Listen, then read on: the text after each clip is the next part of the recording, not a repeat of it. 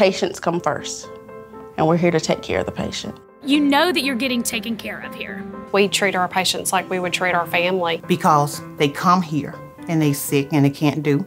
Coming up in a big family the way that I have, I'm used to helping people out. I try to give them a word of encouragement. We try to make sure that we're just taking care of them. Everyone works together for the same common denominator, and that's to make sure we give the best service to our patients and any of our customers that come through that door. There are over 2,900 Alabamians waiting for an organ transplant. So the next time you come in to renew your driver's license, simply say yes when asked if you want to be an organ donor. So now there's only one thing left to do.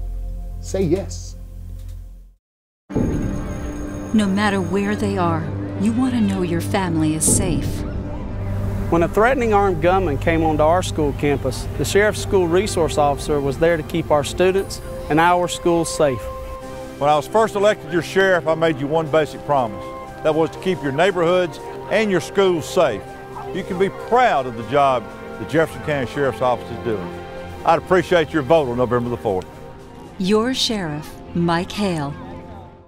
These beautiful quilts are made in honor of people who gave others a second chance at life through organ and tissue donation. Each square was created in memory of a donor who chose to give the gift of life.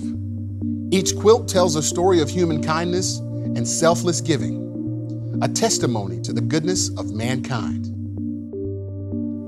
And to see the entire collection, go to alabamaorgancenter.org and register online today. Pain is temporary, but pride is forever. So athletes push harder and practice longer. On the sidelines for over 20 years, OCH Sports Medicine has been with high school athletes every step of the way. Advanced training, the latest technology, and sophisticated rehabilitation services right there when it's needed most. The OCH Sports Medicine Team, there to make every moment count.